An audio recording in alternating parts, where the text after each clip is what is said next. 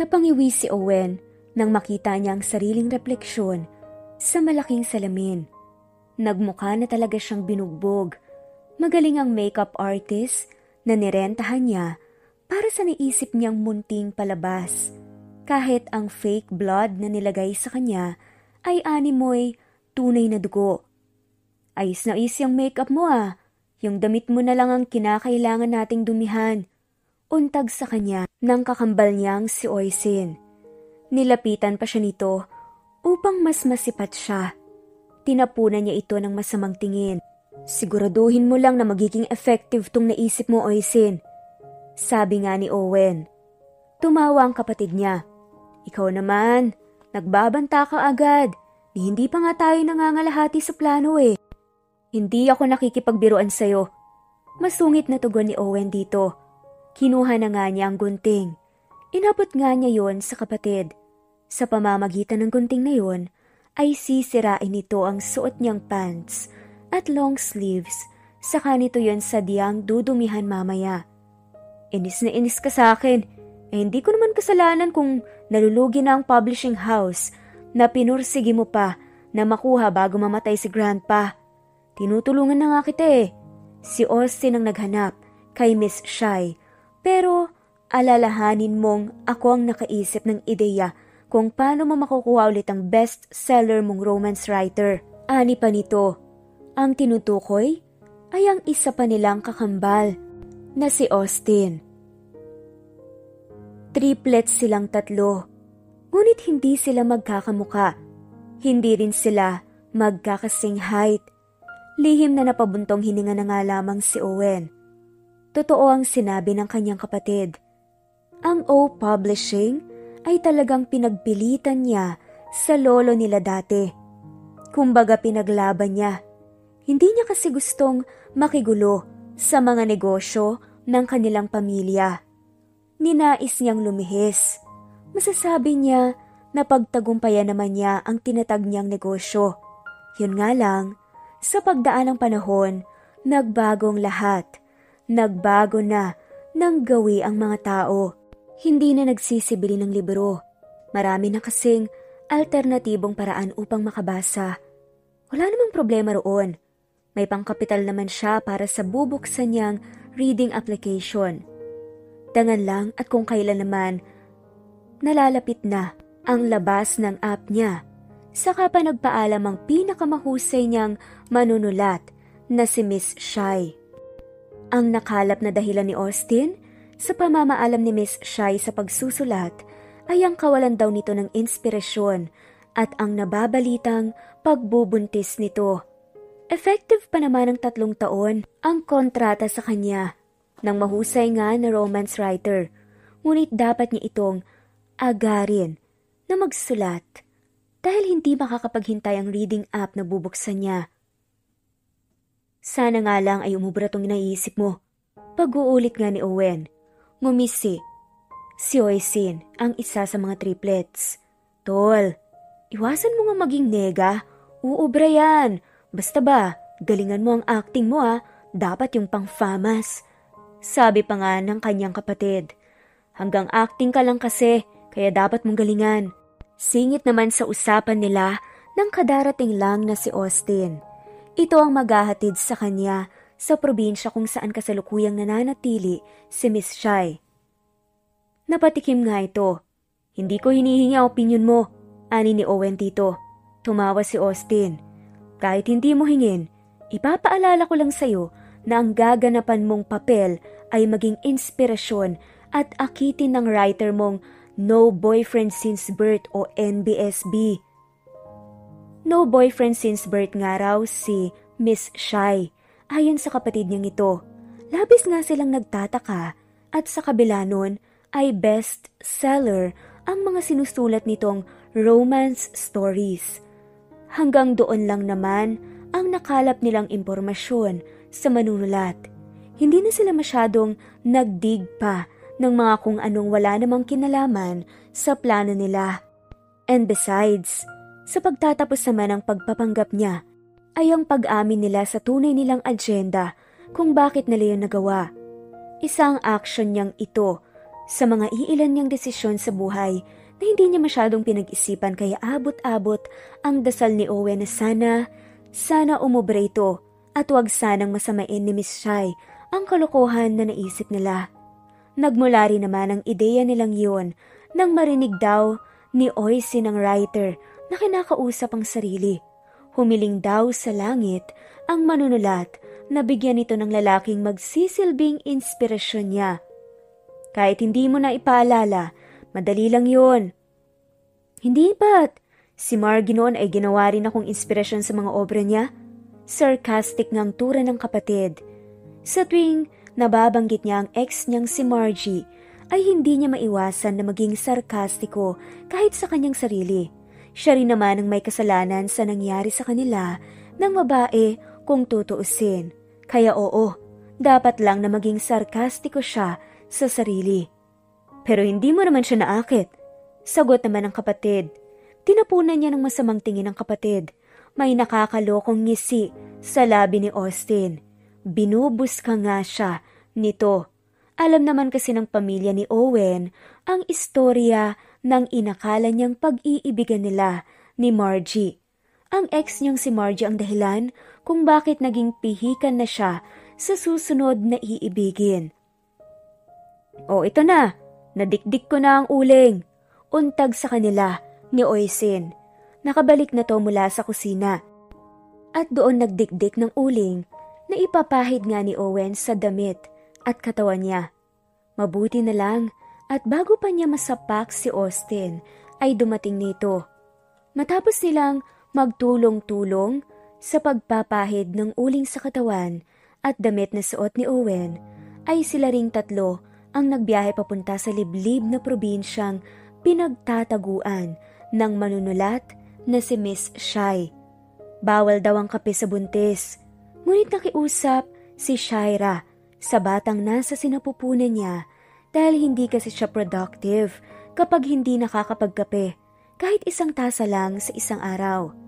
Iwasan mo na lang ang kape na iinumin ng nanay mo, okay? Pagkausap nga niya at hinaplos ang tiyan niya, hindi pa mahalatang may laman. Three weeks pa lang siyang buntis. Parusa, ang morning sickness para sa kanyang first-time mom kaya nagpaalam muna siya sandali sa pub house na kanyang pinagsusulatan. Personal na dahilan ang sinaad niya. Sa indefinite leave na kanyang hiningi, araw-araw niyang chinecheck ang email niya ngunit walang nag approve ng leave letter niya. At heto siya, walang pakialam kung hindi ma-approve ang leave. Naglungga na kaagad siya sa probinsyang nasa dulo ng Luzon. Sa lugar na yun kasi ay mas makakapag-isip siya ng maayos at makakapag-relax kahit papaano. Bukod sa maselan na ang pagbubuntis, ay talagang may personal issue pa siya.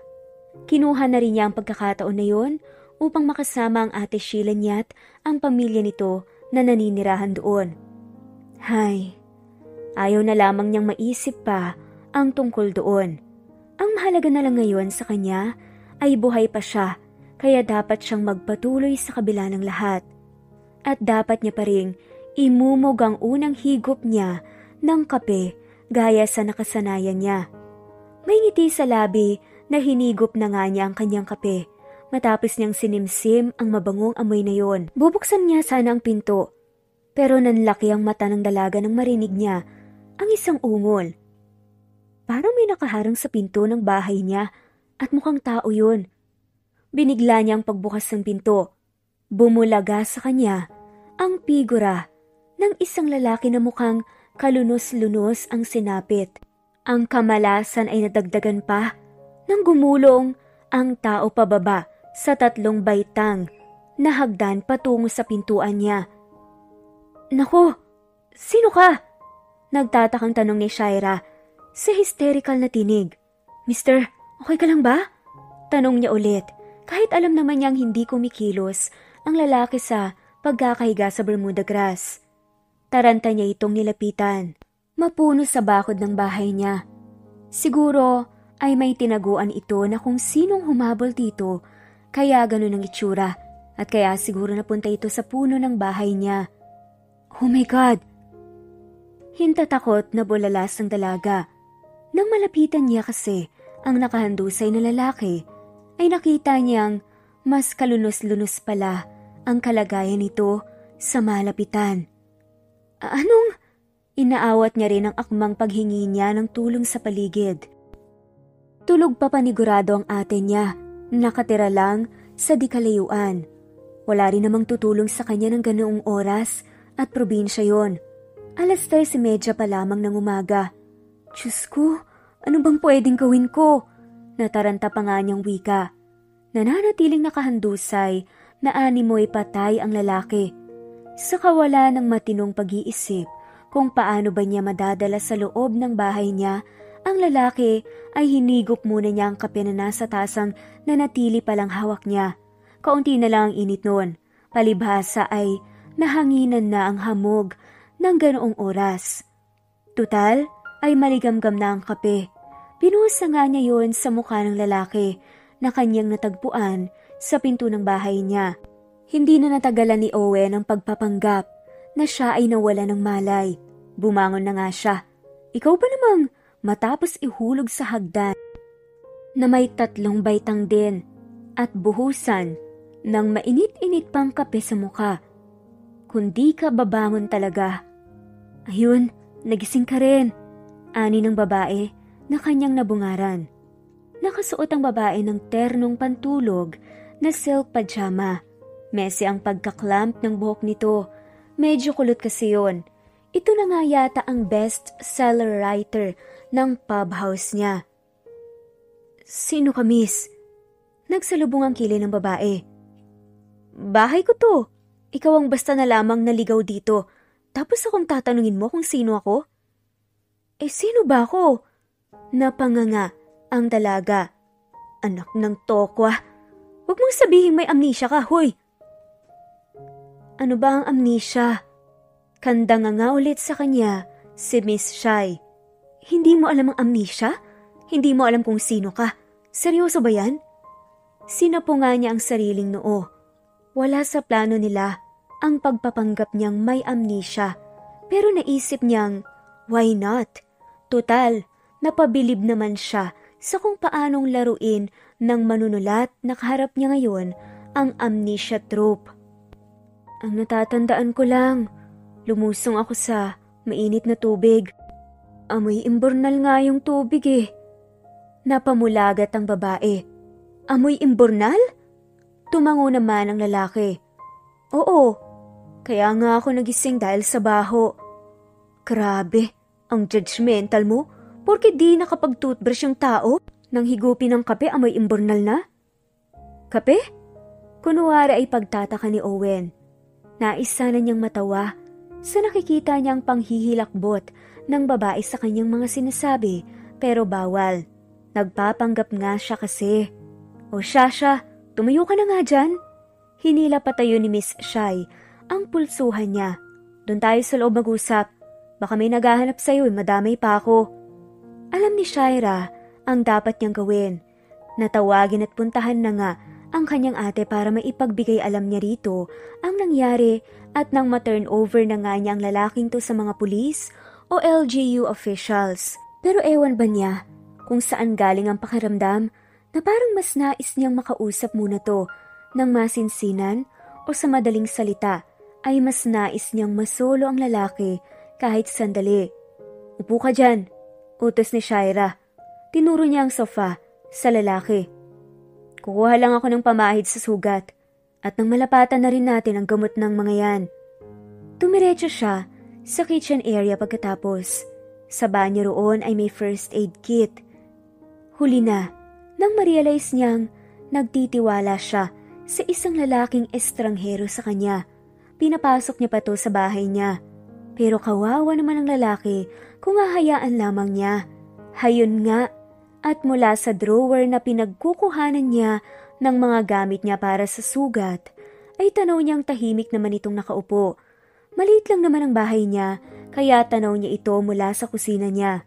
Hinahaplos ng estrangherong lalaki ang mga sugat nito sa katawan. Nagtataka siguro kung saan nagmula ang mga sugat na natamo. Wala siyang ideya sa pag-iimbestiga pero hindi naman siya tanga. Pwedeng tama ang naisip niya kanina na may humabol dito kaya ito napunta sa pinto ng bahay niya. O maaari ring mula sa likod kung saan kalsadang daanan ng iba't ibang sasakyan ay may naghagis sa lalaki kaya napunta ito sa bakod niya. O kung hindi ito sadyang itinapon, maaaring nahulog to sa sasakyan kaya ganun to karumi. Gayun pa man, may galos ang lalaki kaya sigurado siyang galing ito sa hindi magandang sitwasyon bago napunta sa bakod niya. Hindi mo ba talaga naaalala ang pinagmulan mo? At kung sino ka? Muling usisa ni Shaira. Nabalikan na nga niya ito. Nakipag-cooperate naman ito nang maglagay siya ng alkohol sa isang pirasong cotton ball. Ang tapang nga nito. Alam niyang alkohol ang binubudbud niya sa cotton ball ni hindi man lang kumurap ng ilapat na nga niya yun sa sugat niya. Ouch! Daing ng lalaki. Nagulat din sa kirot na dulot ng pinahid niyang alkohol. Sorry, alam mo naman na alkohol eh, mahap dito talaga. Alkohol? Natigilan siya. Gulong-gulo ang itsura ng lalaki. Malapit na yata siyang maniwala na wala talaga itong natatandaan. Isa pa'y may malaking sugat ito sa noo. Will you please stand up? Atas niya sa lalaki. Ha? Dahil lutang ito sa pagtataka, si Shaira na ang nagtayo rito. Kinapkapan niya ito. Inilabas niya pa ang mga bulsa sa suot nitong pants pati na ang nag-iisang pocket ng suot nitong polo long sleeves. Natigilan siya nang mapagtanto nga niyang mamahali ng suot na damit ng lalaki. Na-hold up kay ate Sa pantaha nga ni Shaira. Hold up? Napakamot na nga lamang sa sariling kilay si Shaira. Kung ganoon nang ganoon ang magiging reaksyon ng napulot niyang lalaki. Hay nako, walang mangyayari sa kanila. Magtatanong lang siya hindi rin naman masasagot nito. Tanging pag-ulit lang sa tanong niya ang ginagawa nito. Hayaan mo na nga. Never mind. Sabi nga ng babae. So, hindi mo talaga natatandaan ang pangalan mo. Pasumandali itong nag-isip. Boss, boss ang huli kong narinig bago ako mawala ng malay. Ang sabi sa akin ng kung sino, hasta la vista boss. Kumunot ang noon ni Shaira sa labis na pagtataka. Writer siya kaya normal lang nang maglakbay ang utak niya patungo sa kung saan. At ang kwento ng isang ito ay masasabi niyang interesting, pero nakakatakot. Una, mayamin ito. Sa mamahaling butik, nabibili at napapatay ang suot nitong long sleeves. Ikalawa, panigalos to. Biktima man ng hold up o salvage na naswertehan makaligtas. Ang mahalaga, buhay ito. At ang mas pinakamahalaga, wala siyang kakaibang nadarama sa pagkatao nito. Nagwa-warning ang guts niya sa tuwing susuong siya sa hindi magandang desisyon. Pero sa lalaking to, sa estrangherong lalaking to, wala man lang siyang kahit na anong warning na nadarama sa kanyang instinct. Then, we will call you boss muna since hindi natin alam ang name and wala kang kahit na anong ID man lang sa pants mo. Deklara niya. Boss, kung napano ka man, hindi na muna yun mahalaga. Ang mahalaga sa ngayon ay makapagpagaling ka ng mga sugat mo. May masakit ba sa'yo? Sa tingin mo ba, kailangan kitang dalhin sa ospital? Kandailing si boss. I think mas okay na hindi na. Okay naman ang pakiramdam ko. Parang masakit lang ang katawan ko dahil sa pagkakahulog ko sa kung saan. Automatikong nanlaki ang mga mata ni Shaira. Naalala niya ang ginawa niyang paghulog dito sa kanyang hagdan. Nako, akala mo lang siguro na nahulog ka. Nawalan ka kasi ng malay. Baka panaginip yun upang magising lang ang diwa mo. Ganun ba yun? Napapakamot na nga lamang lalaki. Sunod-sunod ang naging pagtango ng dalaga. Oo, ganun yun. O siya, wait lang ah. Magtitimpla lang ako ng kape natin. Tapos maligo ka para makapagpahinga ka na. Napangiwi ang dalaga nang tumayo na siya talikuran si boss. Ngunit bago siya makalayo sa huli, ay hinila nito ang palad niya. Puno ng pagtataka nga niyang nilingon ng lalaki. Bakit? Ngumiti si boss. Sa ngiti nitong yun, ay napagtanto ni Shaira na nararapat lang na tawagin ng lalaki sa pangalan na boss. Pang-boss kasi pala, ang gandang lalaki ng isang to. Bakit ngayon lang niya yun napagtanto? Salamat sa pagpapatuloy sa akin sa bahay mo ah, kahit hindi mo naman ako kakilala. Yun lang naman pala ang sasabihin ni boss. Bakit kaya nagpapakawala pa ito ng ngiting nakakapagpaluwag ng garter ng panty? Wala yun. Kahit sino naman makakita sa'yo sa ganong sitwasyon, tutulungan. Naudlot ang sinasambit ni Shaira nang dahil sa pagdating ng hindi niya inaasahan na bisita, si Mr. Ipis na feeling paru-paro. Kandatili at nagkandirit si Shaira. Ipis yun oh! Lumilipad patungo sa mukha niya. To the rescue naman si boss. Inilayo siya sa ipis. Nakipagtagisan ito sa insektong nakakadiri. Ang kaso, ang ipis na nangungulit sa kanila ay wala yatang balak na magpatalo. Sumisig ito sa lipad na animoy may kung anong makakain sa mukha niya at yon ang pinupunteriya. Sa kakaiwas nila sa makulit na ipis, ay hindi na nila namalayan kung ano na ang nangyari sa kanilang dalawa.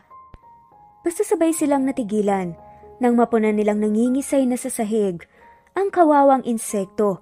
Sabay nilang pinagmusta ng pangingisay noon. Sinapak mo ba siya? Tanong ni Shaira habang nananatili ang mga mata kay Mr. Ipis. Hindi ko na alam kung sino sa ating nakasakit sa kanya. Tugon naman ni boss sa kanya. Kapwa sila hinihingal. Kawawa naman. Sabi pa nga ng writer Nakala mo'y tao nga yung ipis. I agree. Sang-ayon naman ng tinatawag niyang boss. Biglaan ang pagmulat ni Shaira matapos na magsalita ang lalaki. Nilingon niya ito, hindi nga siya nagkamali ng hinuha. Malapit na malapit sa kanya ang mukha ni boss kaya naramdaman nga niya ang init ng hininga nito kanina. okay na, patay na ang kalaban. Tarantang tinulak ni Shaira si boss kaagad siyang umalis sa kandungan nito. Oo, nakamulagatan niya nga na nakakandong siya sa lalaking ngayon lamang niya nakilala. Sorry, hinging paumanhin naman ng estranghero sa kanya. Tumanggi lang si Shaira. Sige na, pwede ka nang maglinis ng katawan sa banyo. May mga sabon naman doon at shampoo. I-check ko lang kung may mapapahiram ako sa iyong damit. Excuse me lang ah. Wala na si Shaira sa paningin ni Owen hindi pa rin mapalis ang nakakalokong ngisi na nakapaskil sa kanyang labi. Sino ba ang hindi mapapangisi? Bawat facial expression ng babae ngayon lamang niya nakilala ay remarkable para sa kanya. Magmula pa nang sabihin niyang amoy imbornal ang kapeng binuhos nito sa kanya kanina. Natatawa nga si Owen sa loob-loob niya sa ekspresyong nakita nga kay Shaira. Mukhang magugustuhan niya ang ideyang to ng kapatid niya. Pagkatapos kasi nang sa kanila ni Margie, ay umikot na ang buhay niya sa apat na sulok ng kanyang opisina. At least dito sa probinsya, may iba kahit sandali ang gawain at ang environment niya at mukhang hindi siya maboboard dahil nga kay Shaira. Finally, may magandang ambag na rin sa buhay niya ang mga kakambal. Malakas na tili ang nagpamulat sa mga mata ni Shaira kinabukasan. Agad siyang bumangon. Pupungas-pungas na hinanap ang kanyang mapaa. Ang pambahay niyang tsinelas saka siya nagmadali nang tunguhin ang sala kung saan nagmumula ang maingay na tili ng ate niya. Kahit antok pa siya, hindi niya maipagkakamali sa iba ang tili ng ate Sheila niya. Ate, ate She, ano bang problema? Kumalma ka nga. Kahit halos nakapikit pa si Shaira at pumapanaog pa lang siya sa hagdan, ay sinigaw na nga niyang mga katagang yun. Masakit kasi sa tenga ang matinis na tili ng ate Sheila niya. Hoy, Shaira Mila Alavar, sino ang mukhang adonis na lalaking to, ha? Kastigo sa kanya ng ate Sheila niya. Napilitan na ngang ayusin ni Shaira ang pagdilat para lamang kusutin ulit niya sa mas mariin na paraan ng kanyang mga paningin. Aba naman, hindi nga nagkakamali ang ate niya sa description nito. Adonis ngang tunay ang ngayon ay nasa kusina ng bahay niya. Saan nga magaling ang ganoon kagandang lalaki? Hindi ba dapat iban ang ganong kagwapo sa Pilipinas? Mainit na sa Pinas, pero pinapainit pa lalo ng lalaking mga ganinto ang mundo. Adonis nga, wala sa sariling wika ni Shaira. Titig na titig siya at napalunok pa nga sa nakahain na lalaking nakasuot lamang ng apron at boxer shorts. Natatanging boxer short lang kasi na may print na SpongeBob ang napahiram niya kay boss. Kaya yata wala itong suot na pang itaas ngayon. Hoy, anak ka ng tukneneng? Aray! Hiyaw ni Shaira. Nakatikim ba naman kasi siya ng malakas na tampal mula sa ate niya. Nakasimangot na hinimas niya ang nasakta no noo. Ang sabi ko, sinong lalaking yan? Bakit narito yan? Pagtatatalak ng ate niya, na mewang pa, napakagat labi na lamang si Shaira. Nang lihim siyang matawa sa itsura ng kanyang ate at ni boss. May rollers kasi ang ate Sheila niya sa buhok nito at nakasuot ng duster. Ni hindi man lang nito naisipang mag-improve kahit 2023 na. Samantalang ang lalaki naman na nag-cause na ng alarm sa bahay niya ay walang habas na nakabalandra ang namumutok na muscles. Ang cute lang, nakakamot-kamot ito sa sariling kilay dahil sa kahihiyan na inabot mula sa tilikwin na ate niya. Ate, Diyos ko naman! Akala ko naman kung ano nang tinitili-tili mo eh. Eh ang Adonis na to ay... Anya, sadyang binitin niya ang sasabihin. Nilapitan niya kasi ang tinatawag niyang boss. Saka maharot niyang sinandal ng braso. Tatay ng anak ko, sabi nga nito, pinakilala nga siya ni Shaira sa atin nito bilang tatay ng anak niya. So totoo palang chismis sa office. Buntis nga ang pinakamahusay niyang writer. Mukhang yun ang personal issue na nabanggit nito sa indefinite leave letter na ipinasa nito sa HR. Oh, hetong tatlong pregnancy strip na nagsasabing Magkakaroon ka na ng pamangkin sa akin, te. Madaragtagan na ang pamilya natin. Masiglang sambit pa nga ni Shaira sa atin ito. Kinuha naman ng nakatatandang kapatid ang makatibayan ng pagbubuntis ni Shaira. Nang masiguro nitong ang lahat ay positibo ang resulta, sa gulat ni Owen, humagulgol ito. Ate, huy ano ka ba? Pati tuloy ako naiiyak eh. Wika ni Shaira Agad itong niyakap ng ate niya. Buntis ka? Hindi ka na baby. Parang hirap pa rin na maabsorb ng ate Sheila nito ang katotohanan. Ate naman, paano naman ako magiging baby? 28 na kaya ako no? Nakalabing ani ni Shaira. Umiiyak na nga. Napangiti si Owen sa tagpong nasaksihan. Bigla tuloy niyang na-miss ang nag-iisa nilang babaeng kapatid na si Lala. Kung siguro ay ito ang magbuntis, makakapatay siya ng tao nang wala sa oras. Ang gwapo naman pala ng tatay ng anak mo. Naku, malandi kang haliparot ka. Biglang nagbago ang tono ng ate ni Shaira. Pabiro nitong kinurot-kurot ang singit ng nakababatang kapatid. Kahit mga nag-iiyakan, ay nagkatawa na naman ang dalawa sa sariling mga kalokohan. Inoff na nga ni Owen ang kalan. Tapos na rin naman siyang magluto ng agahan nila. Saka walang pagdadalawang isip na nakiyakap siya sa magkapatid na ngayon lamang niyang nakilala. Ito nga ang unang pagsasama-sama nilang tatlo. Sabi nga bigla ng ate ni Shaira, Welcome to our family, Adonis! Sumilat ang malawak ng ngiti sa labi ni Owen sa sinambit na yon ni ate Sheila. Pumapalakpak naman ang tenga nito. Buskas sa kanya ni Shaira. Bigla siyang kinalabit sa bewang. Napaigtad tuloy ang binatang hubo ang pang-itaas na bahagi. Ay, may kiliti pala. Eh, ikaw ba? Ganting tanong niya sa buntis. Kinalabit niya rin ang bewang nito. Sa gulat ni Owen, ay biglang nagpakarga sa kanya si Shaira. Grabe namang makiliti ito. Sa isip-isip nga niya, Nakuha yan, Ganyan yan makiliti. Naku ngayon palang pagbawalan mo yan at sa mga susunod na araw, malaki na ang tiyan yan. Ani nga ni Ate Sheila. Oo nga naman, kapag lumaki na ang tiyan ni Shaira, Hindi na to pwedeng tumalon na lamang basta-basta.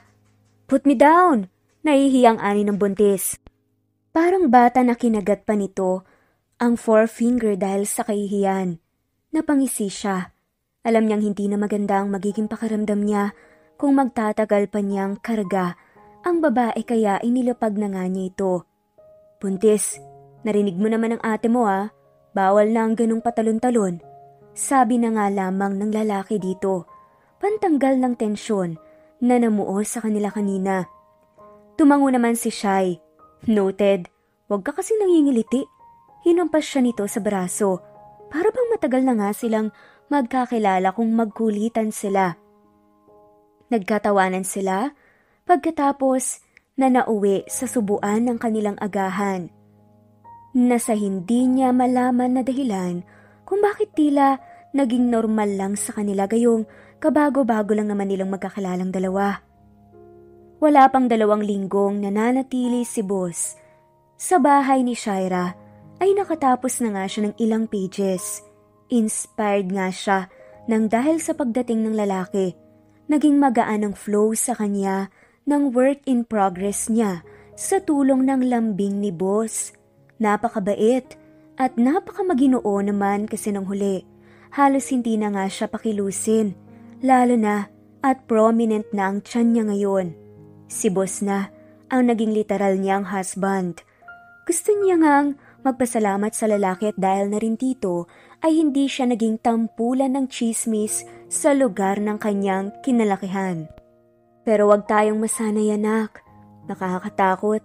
Baka mamaya isang araw, bigla na lamang siyang makaalala at iwanan tayo. E di nga nga, pagkausap nga niya sa nakaumbok na tiyan. Busy nga. Ang babae sa paghima sa sariling tiyan at pagbabasa ng mga naisulat niya kaya hindi niya namalayan na naroon na pala sa kwarto niya ang tinatawag niyang boss. Mahinang pinitik nito ang tungki ng kanyang ilong. Narinig ko ang sinabi mo. Ikaw ah, kung ano-ano na naman ang pinapasok mo sa utak mo. Pati na rin kay baby. Ani ni boss sa kanya. Sa tuwing ganoon ang salitaan at mga tingin sa kanya ng lalaki, ay tila may mainit na humahaplos sa kanyang puso.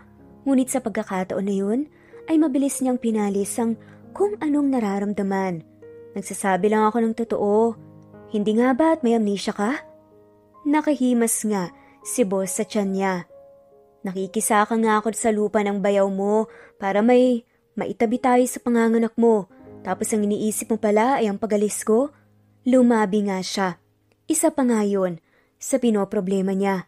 Masyadong masipag ang lalaki. Naging moreno na nga ang balat nito nang dahil sa pagsasaka. Salamat ah. Salamat talaga sa pag-ako sa anak ko. Hayaan mo, in time, ay maaamin ko rin kay ate Sheila na hindi ka ang tunay niyang ama. Alam naman kasi ni Shaira na nakiride lang sa kanya ang lalaki dahil tumatanaw lamang ito ng utang na loob sa pagkupkup niya rito. Owen just smiled. Ininom mo ba ang milk mo?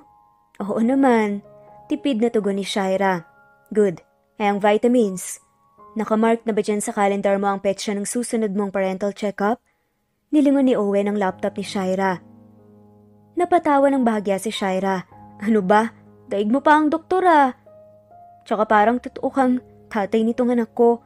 Natawa nga rin ang lalaki. Sinisiguro ko lang, makakalimutin ka pa naman. Makakalimutin nga si Shaira, pero kapag nagsusulat naman, ay bumibilib talaga siya at tutok na tutok. Ni hindi nito binabalikan ang mga naunang scenes na nasulat. Hinayaan kasi siyang babae na makapasok anytime sa kwarto nito dahil nga buntis ito. Binili niya yon dito. Masunuri naman ang buntis. Ayaw ring mapahamak ang dinadala. Kamusta ka nga pala sa lugar na to? Marami ka na bang naging kaibigan? Pasensya ka na hindi man lang kita masamahan sa labas kahit sandali. Ang pagsusulat kasi, kumakain talaga ng maraming oras. Sabi nga ni Shaira, kay Owen. Ayos lang. Basta yung bilin ko sa'yo. Do the stretching every 4 hours. Tugon ni Owen. May mga kakilala na ako rito. Mababait sila. Mabait ang bayaw at ate mo. Buti pala at narito sila kundi. hindi ka na nakakain ng tunay na pagkain. Napangisi si Buntis. Hindi ako marunong magluto. Sa Manila, panay order lang ako. Na alam mong hindi healthy. Pagpuputol naman ni Owen. Inismiran nga siya ni Shaira. Miss ko na nga ang burger eh, pero ayaw mo kong payagan na kainin yun. Bad ka rin nakasama sa bahay eh, no? Natawa si Owen. Ilang weeks na nga ba yan? Wait, ako naglilihi ka na Shaira. Bulalas ng lalaki sa excited na tono. Sinalubong niya ang mga mata ni Owen. Sa tingin mo, tumangutang ang lalaki. God, napaglilihian pala kita. Nagsalubong ang kilay ni Owen. Ha? Huh? Nakangiting kinuha ng buntis ang isang palad ni Owen. Napaglilihan kita, boss. Kahapon pa kasi kita gustong kagatin eh. Pagkasambit noon ay akad na kinagat nga ng buntis ang walang kamalay-malay ng lalaki. Malakas na hiyaw ni Owen ang siyang pumuno sa munting bahay na yon ng piliyang manunulat. Duman pa ang mga araw, mas naging close nga si Owen at si Shaira. Eat ka na ng merienda, misis kong buntis. Napangiti si Shaira. Muli ay bagong ligo na si boss. Ang nanggulat sa kanya habang siya'y nasa harap ng laptop, inalis niya ang salamin na nakasuot sa kanyang mga mata sa kasinalubong niya ang tingin ng lalaki. Salamat mister kong Adonis. Ganting biro nga niya rito. Naging running joke na nga ang mga endearment na yon sa pagitan nilang dalawa. So, kamusta pa lang bagong sinusulat mo? Nakailan ka ng nobela magmula nang makilala mo ko? Pagak na natawa si Shaira. Kunwari ay umirap pa. Nax, ang yabang namang mag-claim na inspired ako dahil sa kanya. Sabay pinaikot ang mata. Si boss naman niya ay natawa. Bakit? Hindi ba? Pagmamayabang pa nito, bahagyang tinapik ang nakaslant na dibdib. Pabiro naman niya ang hinampas ito. O sige na nga, para mas lalo kang magyabang, magmula nung dumating ka dito, ay nakadalawa na akong regular length na story for editing na sila. Wow! Namamanghang bulalas ng lalaki. Malawak siyang napangiti. Minsan lang makatagpo ang romance novel writer na katulad ni Shaira ng lalaking interesado sa kanyang akda kaya isa talaga yon sa kinakasayan niyang ugali ni boss. Alam mo, sa tuwing namamangha ka sa akda ko, hindi ko mapigilang isipin na fan yata kita. Nistok mo yata ako eh, kaya ka narito. Bus ka pa nga ni Shaira. Ngumisilang naman si Owen. E sa tuwing nilalambing kita ng ganito, ano namang naiisip mo? Nilagay nga ni Owen ang kanyang palad sa bewang ni Shaira. Pinulupot yun. Paglalambing na niya sa babae, ang paghimas niya sa tiyan nitong unti-unti na talagang umuumbok. Aaminin niyang mas madalas na nakakalimutan na niya ang napag-usapan nila ng kanyang mga kapatid kaya natutuwa siyang kahit wala naman siyang gaanong effort na ginagawa ay nakakasulat na ulit ang mahusay na writer. Napangiti siya nang maramdaman niyang humilig sa braso niyang buntis. Nangangati na yan eh. Paungol na ani ni Shaira. Kunutang noon na pinagmastan niya. Ang lalaki. Nakatingala si Shaira. Nakapikit.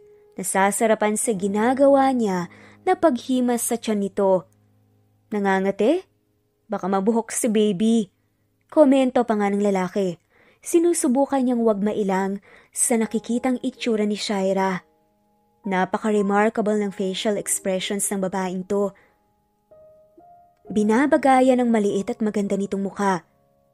Siguro, sige pa, dyan banda. Sabi nga ni Shaira habang hinihimas nga ng lalaki ang kanyang tiyan. Bahagyang hinila ni Shaira ang mga braso ni Owen. Inilagay nga nito yon sa pwesto kung saan nais itong makamot ang tiyan. Dapat yata mag-gloves ako eh. Tanong nga ng lalaki. Sinusubukan niya lang tumakas, kaya niya yon tinanong. Huwag na. Masarap ka namang magkamot kahit hindi ka pa nakasuot ng gloves eh. At nasa itsura naman ng buntis na nasasarapan talaga. Marahas siyang napalunok. Um, shy. Tila, kinakabahan na nga, nasabi ni Owen. Pero pabulong naman nasabi ni Shaira, Dito pa, Aawati na nga sana ni Owen ang babae kasi naiilang na talaga siya at tinatablan na. Parang hindi na kayang magpigil. Mahirap yatang pigilan ng nangangating tiyan kaya hinayaan na nga niya muna ito. Napapakagat labi pa nga ang buntis kapag gigil nitong pinapahimas ang tiyan. Mabuhok nga siguro si baby. Nakangiwi pa nga niyang turan. Kailangan niyang madistract kaya ma-arrange siyang pumikit. Bahala na. Siguro hindi rin naman magtatagal at matitigil din ang buntis sa pagpapakamot ng tiyang nito habang halos magkayakap na nga sila. Ah, hindi. Magkayakap na nga sila. Ang kati, ano ba yan? Hiyaw ni Shaira. Mas mariin ngang nilapat ng lalaki ang mga palad niya. Mas may gigil at diin nitong ikinamot yun, paikot sa tiyan nito. Shy. Kapos sila natigilan. Nagsalubong ang mga mata nila. Sa panggigigil kasi ng buntis ay aksidenteng napunta ang palad niya sa pribadong parte nito. Tila napasa na kaagad na binawi ni Owen ang sariling mga palad. Mabuti pa, iwan na kita. Sulat well. Nahihiyangang sabi ni Owen. Yun lang. At tila mas napapasong mabilis na nilisan ni Owen ang kwarto ng buntis. Halos mapamura nga siya. Problema niya patuloy ngayon ang galit na alaga niya. Naiwan na napakagat labi na lamang si Shaira sa kanyang kwarto. Nangangati naman kasi talaga ang tiyan niya. Ang hirap pa at ang hinahanap-hanap niyang haplos para sa umbok niyang tiyan ay ang galing sa mga palad ni Owen. Ito yatang pinaghililihian ni Shaira. Ano ba namang craving siyan, Shaira? Ang lakas makahaliparot? Sa isip-isip nga ni Owen, panakanakang pagwawalis na lamang at paghuhugas ng pinggan ang pinapayagan ni Owen na gawin ni Shaira sa loob ng bahay. Hindi niya alam kung kailan, saan, bakit, at ano ang pinagmulan. Basta nagising na lang siyang isang araw na dapat niyang sundin ang kanyang fake husband. Siguro, sa kaibuturan niya ay naroon ang hangarin na maranasan niya ang pagkakaroon ng lalaking kasama sa buhay. Ang pagkakaroon ng lalaking nag-aalala sa iyo. At opisyal na karelasyon mo dahil nga NBSB siya. Marahil ay malawak din lang ang imahinasyon niya pagdating sa love kaya walang kaso sa kanya na nagpapanggap sila ni Owen sa harap ng maraming tao. Nagsama sa hirapan kinhawa ang mga magulang niya. Gayun din ang ate at bayaw niya, kaya oo, mataas ang expectations niya sa feelings na love. Ninais nga rin ni Shaira ang ganoong klase ng pag-iibigan. Ngunit alam niya naman na swertehan lang pagdating sa pagmamahal at walang hindi nasasaktan doon. Kumbaga, pati bayan na lang. Hay, nagwawalis lang siya kung ano-ano pa ang pinaglalaro niya sa isipan niya. Napakalawak talaga ng imahinasyon ng writers. E wala namang love na namamagitan sa kanila. Nang napulot niyang lalaki, isa pa ay buntis na siya. Dinadala niya ang batang maski siya ay hindi niya alam kung sino at nasa ng tatay. Maalala nga pala niya, hindi nagtuloy ang paghahanap niya sa whereabouts ni boss. Na-distract na kasi ng pagsusulat ang akmang pag-research niya sa pagkatao ng lalaki kung sino nga ba ito ang tunay niyang pagkatao. Habang lumalaki kasi ang tiyan niya, ay naisip niyang hindi naman maaaring hanggang sa makapanganak siya ay hindi pa nakauwi sa tunay na bahay nito, si boss. Unfair yun para sa lalaki. Katulad kasi sa mga sinusulat niyang kwento, ay nauunawaan naman niyang ang mas makakatulong sa pagbabalik ng nawala nitong alaala ay ang mga taong malalapit dito at hindi ang bagong kakilala nito. Nasa ganun siyang pagmumuni-muni nang biglang tumunog ang doorbell ng bahay niya. Nagsalubong ang mga kilay niya. Wala naman kasi siyang inaasahan na bisita. Imposible naman na mag-doorbell pa ang ate niya. Nilingon niya muna ang kwarto sa itaas kung saan umuokupa si boss. Hindi kayang lalaki ang pakay ng kung sinong nasa doorbell? Bigla siyang kinabahan na hindi niya mawari. But still, she chose to hit the doorknob. Hi, good morning. Napatanga si Shira sa nabungaran. Kinabahan siya para sa wala. Kapitbahay lang pala nilang nasa likod ng pinto. Ah, hello, magandang umaga rin. Bantulot niyang ani dito. Pasimple niyang sinipat. Ang kaharap na babae. May tangan itong lalagyan na nasisiguro niyang may ulam. Anong sa atin, Verlinda? Bakit kay aga mo yatang mag-aya sa perya? Open na ba ang peryahan? Sa makalawa pa ang fiesta, hindi ba? Sunod-sunod na tanong ni Shaira sa kapitbahay na babae. Dahil probinsya yun, nakasanayan na nga ng mga tao na dumiretso sa loob ng bahay once na pinagbuksan ito ng kinatok na kapitbahay. Kaya kahit hindi niya inayang pumasok si Verlinda, ay pumasok ito. Nilapag ng babayang bitbit na tupperware sa mesa niya. Pumungis-ngis si Verlinda. Naku, ikaw talaga, Shaira. Napakapalabiro mo. Pilit siyang umiti. Kung hindi lang kabastasan ay sasabihin niya sana sa babae na hindi naman siya nagbibiro. Napakaaga pa kasi, ayang kapala ng kolorete na nakapinta sa mukha nito kaya hinakala niyang isang babae sa pambala sa peryahan. Ano pala yung bitbit mo? Imbes na isa tinig ang nasa isip niya, ay tinanong na lamang ni ito.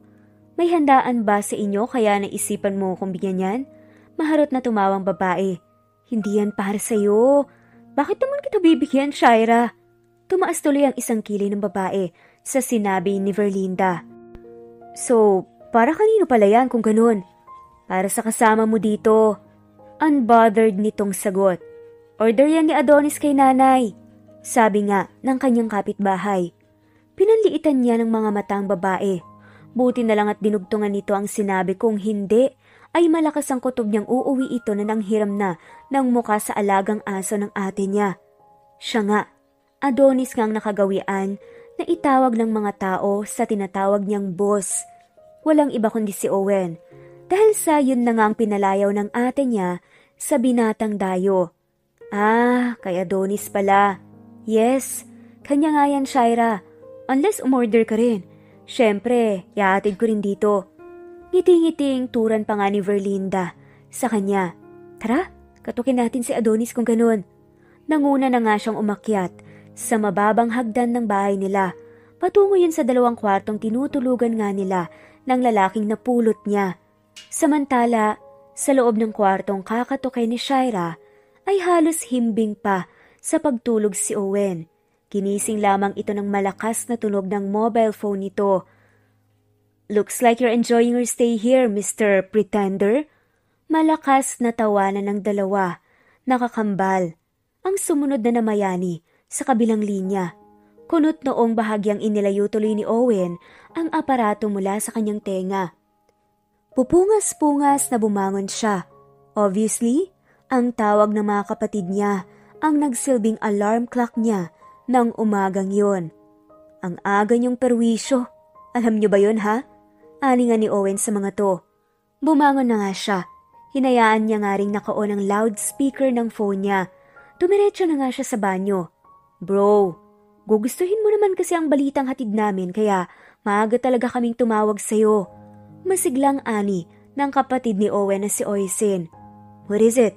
Sa pagitan ng pagmamouthwash ay tanong niya sa mga kapatid. Congrats brother, magaling ka ng mang-akit, pwede ka ng mag-asawa. Binawi nga ni Miss Shai ang indefinite leave letter niya. And guess what? Nag-submit na rin siya ng bagong story. Sa harap ng salamin na nakadikit sa dingding ng banyo, ay napangisin na lamang si Owen sa narinig na balita mula sa kanyang mga kapatid. Sa wakas, hindi na nga siya mangangamba. Sa bubuksan na reading application, sigurado na ang ere nun at nangungunang i-feature ang bagong nobela ng sikat na manunulat na walang iba kundi si Shaira. Magandang ang balita yan. Kung ganyan lang din ang ibabalita niya sa akin araw-araw, okay lang nagisingin niyo ko. Muling nagtawanan ng mga kapatid niya. Tunay na magandang balita yon. Sa nalaman niya ay maaari na nga siyang umalis sa bahay ng manunulat.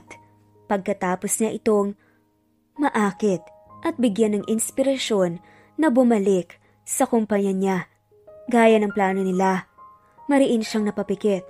Saka nakipagtitigan siya sa sariling refleksyon. Magmula ng araw na aksidenteng napunta sa pribadong parte ni Shaira ang palad niya, ay hindi na nga siya pinatahimik ng utak niya at katawan kaya nararapat lamang na layuan na nga niya ang babae. May kung anong binuhay si Shaira sa kanya. Hindi lang dahil sa hawak na yon kundi dati pa, Nang una nga nitong masilayan ang kanyang ngiti, nangungusap namang mata. Emosyon, atraksyon o kung ano paman, hindi naman yata tama na. Analisahin pa niya, hindi ba? Buntis ang babae. Hindi nila napag-usapan ng tungkol sa tunay na tatay ng bata. Wala rin naman siyang planong usisahin pa ang personal na detalye ng buhay nito. Not unless ito ang magkusang ibahagi yon. Hindi siya nakilala noon nang manunulat bilang boss ito. Maari rin na hindi sila magkita pagkatapos ito. Yun naman talaga ang plano. Hanggang dito lang.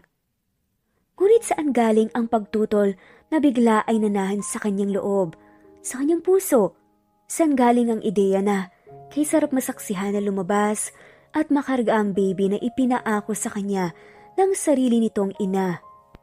Boss, napakurap siya. Kumunot ang kanyang kilay. Shaira? Boss ako nga. Pagkumpirma ng buntis. Ito nga ang kumakatok sa kwarto niya. Binalingan niyang mga kapatid na nasa kabilang linya pa rin. Ah, wait. Ibababa ko muna tong phone. Kinukontak ako ni Shai. Agara na paalam niya sa mga kakambal. Bago pa niya mapindot ang button para sa call ended, ay narinig niya na nga ang pagbubuska ng mga ito. Kesyo, under desaya na raw siya. Napailing na nga lamang si Owen. Nagmadali na siyang tunguhin ang pinto. Oh, buti naman gising ka pa. Bungad ni Shaira kay Owen nang mabuksan na nga niya ang pinto ng kwartong inookupa niya sa bahay nito. Pinaglipat ng binata ang tingin sa dalawang babae na kanyang nabungaran. Si Verlinda na kung todo ang ngiti at si Shaira naman na halos magkapatong na ang mga kilay sa pagkairita yata. Pero bakit? What's with this morning? Nagtatakang tanong ni Owen sa dalawang babae. May order ka raw dito kay Verlinda. Si Shaira ang sumagot sa tanong niya. Order na ano? Order na ulam. Pahagik-gik na tugon ni Verlinda. Ay, si, naka nga pala nung sa kantin. Naalala ang wika ni Owen. Humagik-gik na naman si Verlinda. Oo, tama ka. Tumangaw ang binata. Naalala ko na. Pero wala naman ako in-order ah. Sure ka ba na sa akin daw? Nagtatakang sinulya pa ni Owen si Shaira. Humihingi siya ng saklolo dahil hindi talaga siya umorder ng kung ano-ano sa sobrang sela ng buntis sa pagkain at ang mga ginugusto nito ay mga hindi healthy na foods. Hindi niya naisip man lang na i-tolerate ito. So hindi talaga siya order ng kung san-san. I-text mo si Aling Verna. Tanungin mo kung kanino. Baka mamaya hinihintay na ang ulam na yon. Nang tunay na umorder niyan. Mungkahi ni Shaira. Hirap sa'yo. Para-paraan ka lang yata para masilip tong lalaking to eh. Tila inis na sabi ni Shaira. Hindi yun nakaligtas sa pandinig ni Owen kaya lihim siyang napangiti. Ah, sige wait lang. Pasumandaling tumalikod si Verlinda. Naka-cross arm si Shaira kaya ginawa niya na nga rin ang pagkrustito ng mga braso. Sumandal siya sa nakabukas sa pinto at nakangiting pinagmesa ng babae. Oh, Anong tinitingin-tingin mo? Asik sa kanya ni Shaira. Tila napangiti at napatawa ng bahagya si Owen. It's really nice to see you in the morning. Paano ba naman kasi? Parang nakikita nga niya ang selos sa inaasta ni Shaira. Pero hindi niya alam kung bakit. Parang gustong gusto niya yon. Nako, tigilan mo ako ah. Palibasa hindi ako lumalabas ng bahay kaya hindi ko nalalaman kung anong pinaggagawa mo sa labas. Yung babae yan, Never yan napunta rito sa pamamahay ko. Kunwari lang yata na nagkamali yan ng pag-deliver para masilayan kay. Ani nga ng babae. Why do I have this feeling na nagsiselos ka? Are you jealous, Mrs.? Ngiti-ngiti pang ang pambubus ni Owen sa buntis. Nanlaki ang mga mata ng babae na mewang. Hoy, selos mo mukha mo. Bakit naman ako magsiselos? Ano bang meron tayo? Ano nga ba? Tanong nga nito. Natigilan si Shaira. Kahit siya rin naman, ang lakas ng loob niyang itanong yun, eh, hindi naman na sila teenager. Out of the blue, naisip tuloy ni Shaira na mas komplikado pala ang mga adult kesa sa mga teenager. Ang mga teens kasi, nagkakaamina ng feelings kahit nagkakahiyaan. While ang mga adult naman, more on kapaan. more on pakiramdaman, katulad na lamang ng titigan na nagaganap sa kanila ni Owen sa kasalukuyan. Titig na nagsimula sa mga mata, napunta sa ilong, sa bibig. Shucks, parang kailangan niya ng tubig dahil literal siyang nabilaukan sa mga pandesal ng lalaki na ngayon lang niya namalayan na nakalitaw pala sa harapan niya. Impacto ka? Biglang bulalas na nga lamang ni Shaira. Nakahubo ka? May ibang tao na rito sa loob ng bahay? Talak nga niya dito. Tinulak niya papasok sa loob ng kwarto nito si Owen. Don, pasok magbihis ka. Halos hindi naman makahumas si Owen sa shifting ng mood ni Shaira. Pero natawa na nga siya nang maunawaan niyang gusto siyang itago nito sa mga mata ng ibang babae. Akalain ba niyang cute pala magpaka-possessive ang mga babae? Kay Shaira niya lang yun nasasaksihan. Hinawakan niyang pulsuhan ni Shaira upang matigil ito. Sa kakatulak sa kanya, ang babae kasi ni hindi talaga iniintindi ang kalagayan. Lumalaki na nga ang tiyan, ngunit ang galaw-gaw pa rin itong kumilos.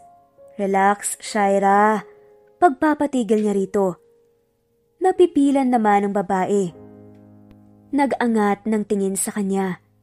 Ikaw yata ang dapat na mag-relax. Tugon ni Shaira.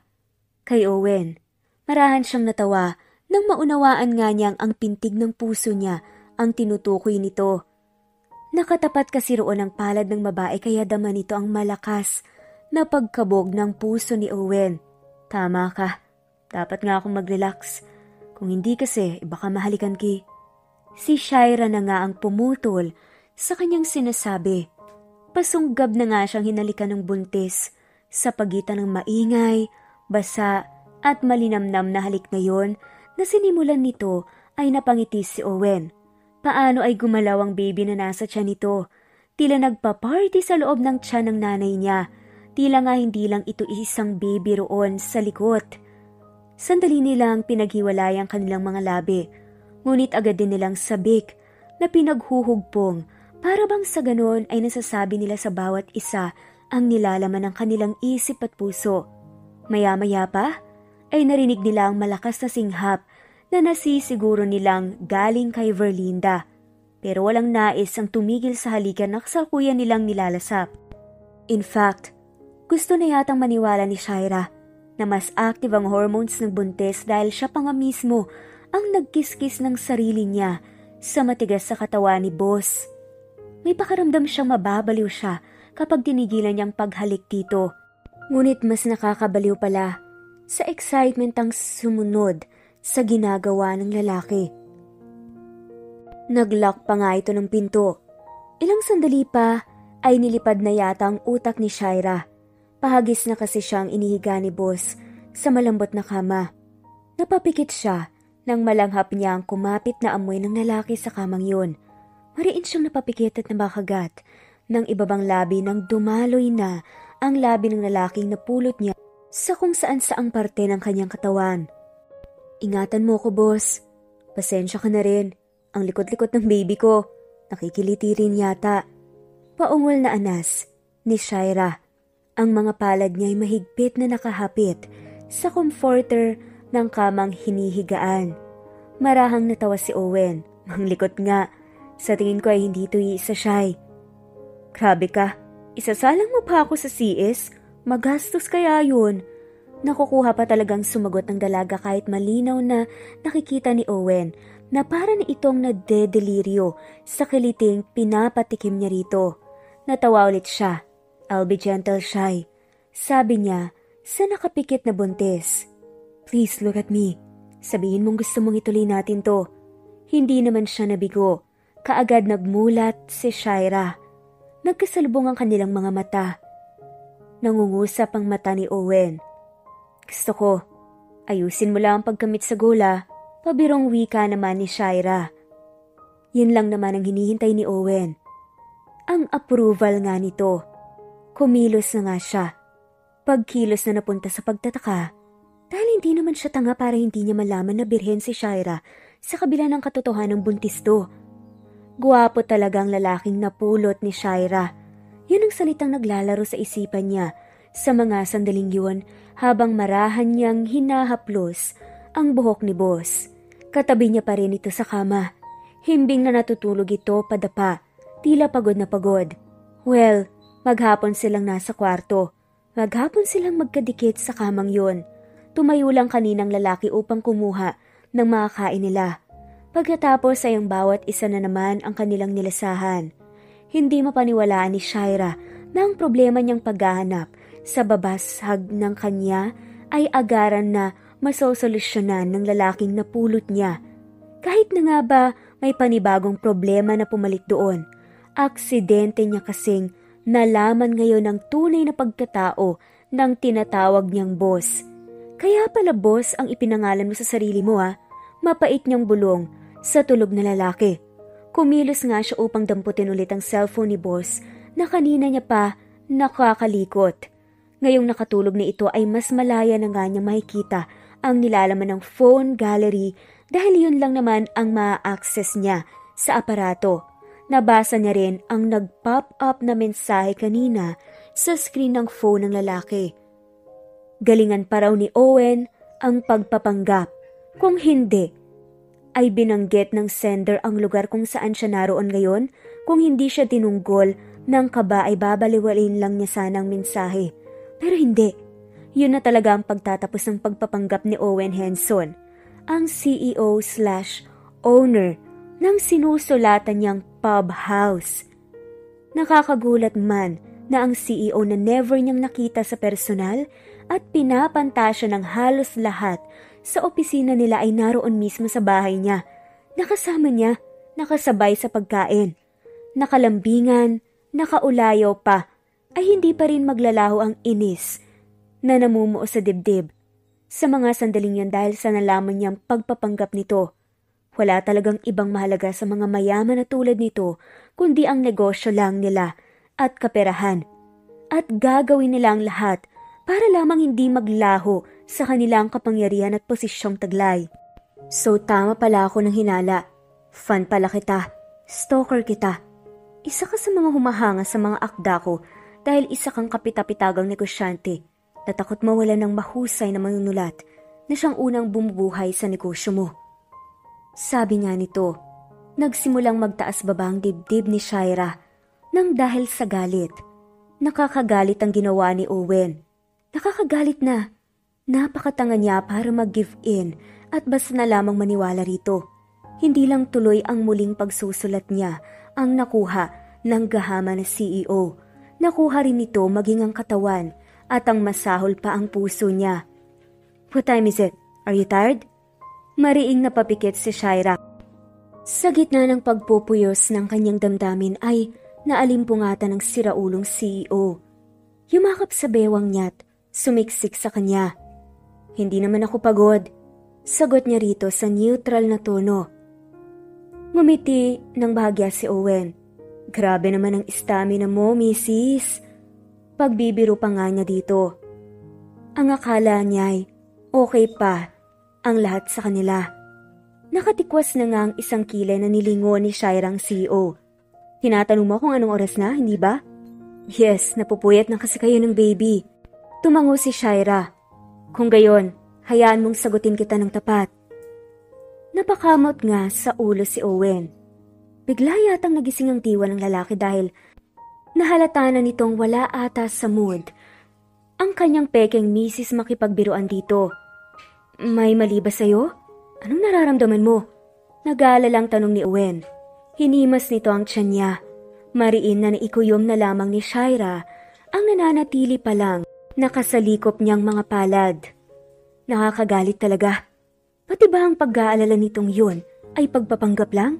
Alin ba sa mga nagawa ng lalaking to sa kanya ang peke sa hindi? Bakit ang mga haplos at halik naman ito ay parang totoo? Sa isip-isip nga ni Shaira. Walang mali sa akin. Baka sa'yo, meron. Mr. Owen Henson? Sapat na ang pagkakabanggit ng babae sa pangalan ng CEO upang mamanghani ito. Nagulat nga si Owen. Natigilan ito sandali at saka nagmamadaling hindi malaman kung saan siya hahawakan. Ginawa naman ni Shira ang lahat para maiwasan ng lalaki. Shy, I can explain. Hindi ganon. Itinaas ni Shira ang isa niyang palad. Tumahimik naman si Owen dahil doon. Owen Henson, hanggat hindi ako humiling sa'yo ng explanation, tumahimik ka lang, okay? Wala ka namang ipapak na gamit kaya mamaya, kapag maliwanag na, maaari ka nang umalis. Iwan mo ako rito. Sigurado naman akong nasabi na sa'yo ng mga kapatid mo na nagpasa na ako ng latest story ko. Na oo nga pala. Salamat sa'yo dahil sa'yo na isulat ko yun ng walang kahasel-hasel. Shaira, bulong nga ni Owen na tila nagsusumamo. Nagawa mo naman ang gusto mo, di ba? Sa pagpapanggap mong na hold up or whatever na parang trespassing pa sa bahay namin, nagawa mong maging inspirasyon ko kaya nakasulat ako. At oo nga pala, dapat ko rin yatang sabihin sa'yo na pati naman ako ay natulungan mo. Naghahanap kasi talaga ako ng lalaking wawasak sa V-card ko. Sigurado kasing magtataka ang doktor kung bakit intact pa ako gayong buntis ako. Alam kong kahit ikaw nagtataka. Sige na nga, dahil boss kita, sasabihin ko na sa'yo ang napakalaking sekreto ko. A close friend of mine betrayed me. Minsan, nalasing ako. And-insert niya sa akin ang semen na hindi ko alam kung kanino. Tumawa si Shaira. Marahas na lumunok naman si Owen nang dahil sa kanyang mga narinig. She betrayed me. Katulad nitong ginawa mo sa akin. Pinaniwala niyo ko? Pinaniwalaan ko na mahal niyo ko. Nagtiwala ako sa inyo. Basag na basag ang tinig na sabi ni Shaira. Owen didn't utter a word. Hindi niya alam. Masyado siyang nagulat sa revelasyon. Dalawang betrayal. Magkaibang klase. Ngunit kahit siya'y alam niyang nakakawasak yun ng pagkatao na magiiwan yon ng trauma sa babaeng nananahimik nga naman ngunit ginulo niya. Sabi pa nga ni Shaira, Wala naman akong kasalanan sa inyo ah. Ano bang ginawa ko sa inyo para saktan niyo ako ng ganito? Umiiyak at nanghihinang hinampas siya ni Shaira. Kahit pumipiglas ito ay buong puwersang inihilig ni Owen ang dalaga sa kanyang dibdib. Pagyakap lang ang tangi niyang maitutugon sa babae. Mahigpit na yakap at pagbulong ng mga salitang, I'm sorry. Chamomile tea ba, Owen? Mula sa ginagawang pagpirma sa mga papeles, ay nag-angat ng tingin si Owen. Chamomile tea nga ang inilapag sa harap niya ng kapatid niyang si Oisin Kinuha naman niya ang tea at agarang uminom. Nauuhaw na pala siya. Hindi man lang niya nahahalata. Mula kasi nang umalis siya sa bahay ni Shaira, ay inaral na rin niyang mawalan ng pandama. Kung paiiralin kasi niya ang bugso ng damdamin ay alam niyang hindi niya magagampanan ng pinangako niya sa sariling kahit ano pa man ang mangyari, ay hahanapin niya ang tatay ng anak ni Shaira. Bilang pambawi sa nagawa niyang mali, Pinangako niya sa kanyang sarili na tutuklasin niya ang tunay na dahilan kung bakit nagawa kay Shaira nang malapit nitong kaibigan ang ganoong kapangahasan. Sa totoo lang, nahirapan siya. Manunulat si Shaira at sobrang pribadong tao. Mabuti na lamang nang magtapat siya kay Ate Sheila ay nauunawaan siya nito. Ito ang tumulong sa kanya patungkol sa ilang detalye. Nagulat din ito sa nalaman Si Ate Sheila na rin mismo ang naghanap sa malapit na kaibigan ni Shaira na maaaring gumawa sa kanya ng ganon. Magkakatulong sila nito at ng mga kakambal niya sa pagtuklas kung sino ang salarin at ano ang rason kung bakit nabuntis si Shaira habang birhen ito. At heto, daba niyang nasa finale na sila. Kaya nga siya hinaina ng chamomile tea ng mga kapatid niya. Kailangan niya sigurong kumalma bago sabihin ng mga to ang huling nalalaman sa O-plan hanap nila.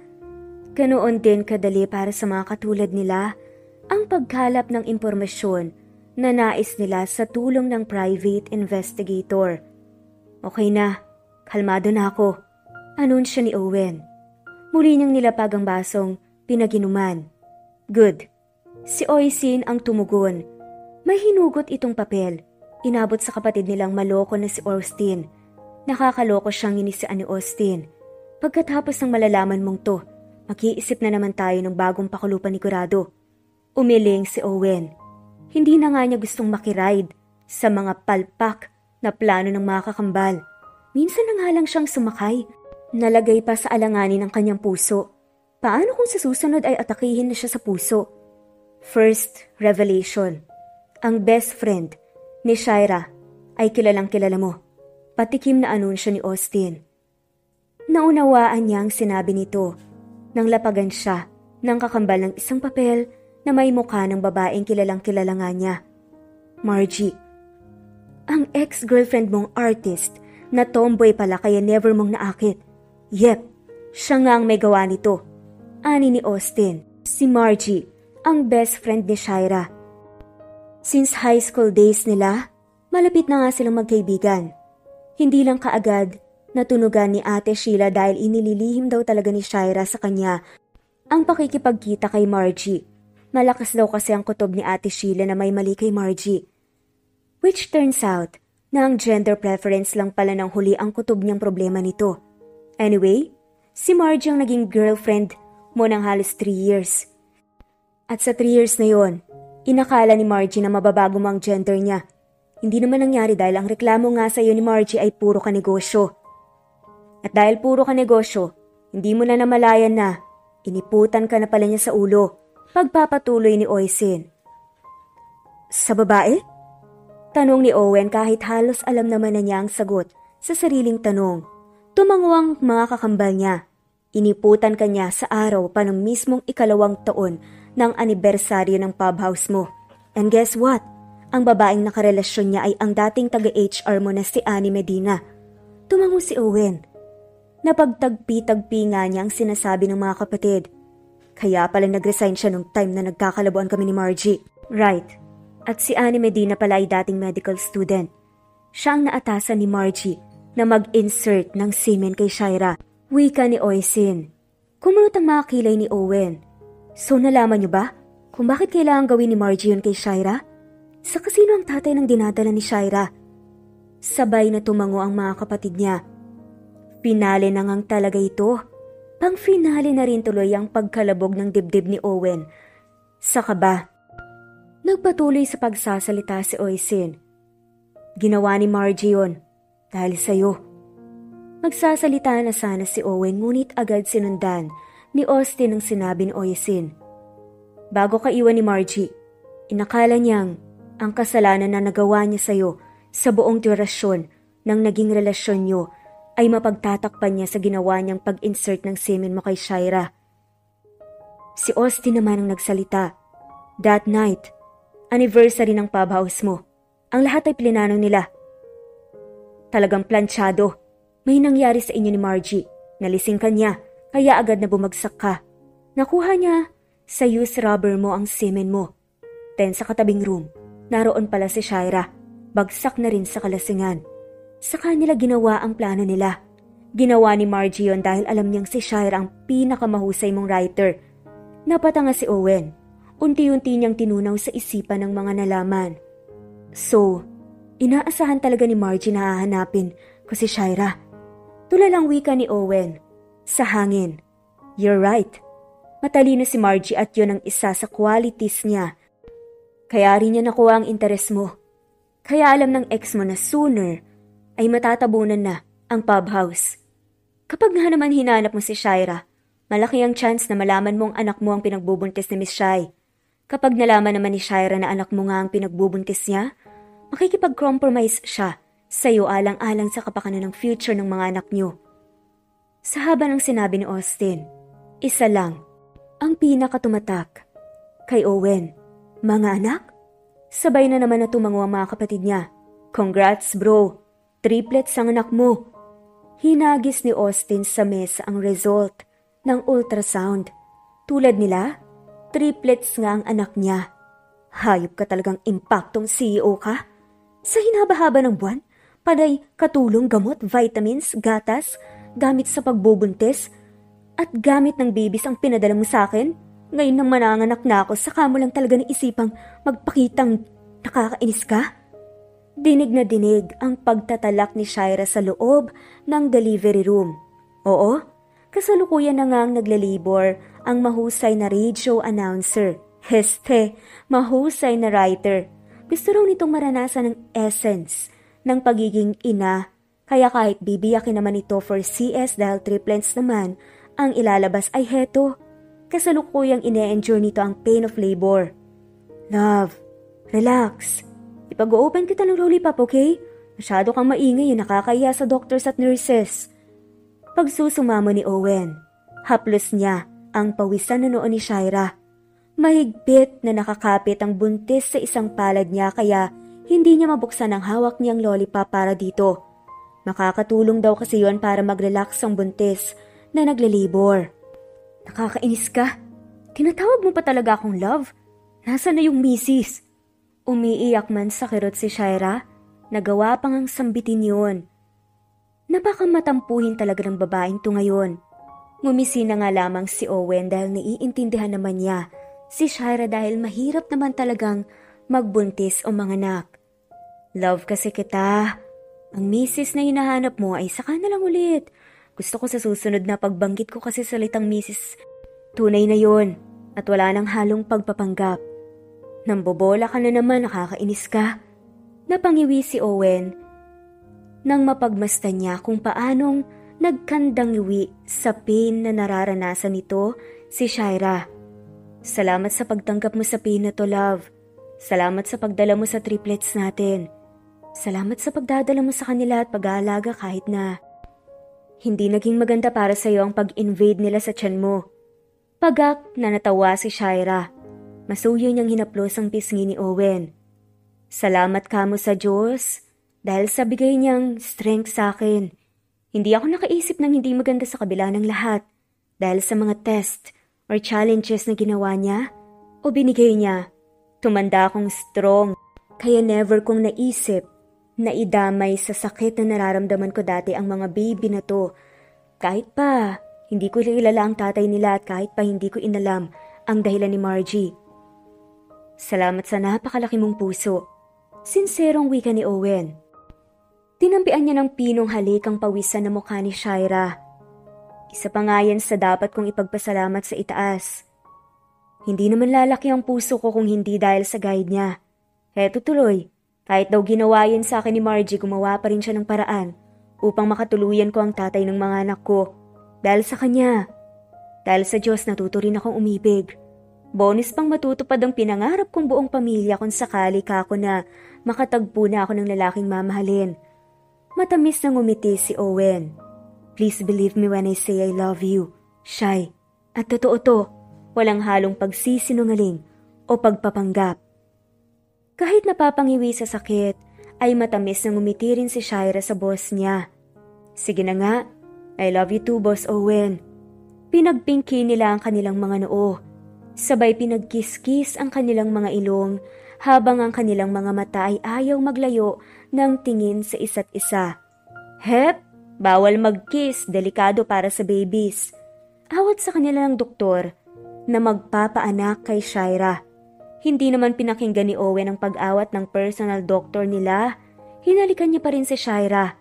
Natigil lamang ang malagkit nilang halikan nang maramdaman ni Owen na hinihila na siya palayo ng hindi mabilang na mga braso. Tatawa-tawang buntis pero umiiyak din maya-maya. Hihintayin ko kayo ng mga anak ko. Stay safe, love. Malambing na bilin niya kay Shaira. Malambing na flying kiss na lang ang binigay nila sa isa't isa bago tuluyang magkahiwalay ang kanilang mga paningin. Sa pagkakalapat, pasara ng pintuan ng delivery room alam ni Owen, sabay silang naririnig ng Diyos. Sabay kasi nilang pinagdarasal sa mga oras na yon ng maluwalahating buhay na naghihintay sa kanila ni Shaira ng magkasama. Naging successful naman ang pagde-deliver ni Shaira ng triplets nila ni Owen. Lumipas nga ang ilang buwan, hindi na nga sila nagpatumpik-tumpik pa. Nagpropose na nga si Owen kay Shaira dahil gaya nga ng sabi niya, sa susunod nga, natawagin nga niyang misis si Shaira ay gusto niya totohanan na talaga hindi naman niya binigo ang babae dahil pinanindigan nga niya ito dahil gustong gusto na nga niya itong pakasalan at maging kabiyak ng panghabang buhay. Naging masaya rin naman sila bilang ama at ina ng kanilang triplets. Hindi man sinasadya na ipagbuntis ang tatlong baby. Pero nagpapasalamat naman sila sa Diyos dahil para sa kanila blessing ngayon. And they live happily ever after. At dito na nga nagtatapos ang kwentong pagmamahalan nila Shira at Owen. Maraming maraming salamat po sa lahat ng mga walang sawang sumusubaybay at shout out po sa mga sumusunod. Jane Rosario, Sue Marieta, Annalyn Layaw, Melissa Cortez, Maldita Forever, Jane Rosario, Presbyteros Rose, Ostanalito, Julieta Marbida, Sonia S., Helen Murillo, Beth Sardina, Margarita Ubanya, Nicomeda Tijera, Teresita, Juvelin Romero, Rosin Aguilar, Rex Roy, Romana Grospe, Heidi Sera, Norma Abeliera, Priscilla Batan, Leia, Rosin Aguilar, Eden, at shoutout na rin po sa lahat ng mga walang sawang sumusubaybay. Maraming maraming salamat po at muli. Ito ang Cat Amazing Stories PH. Thanks for listening and God bless everyone.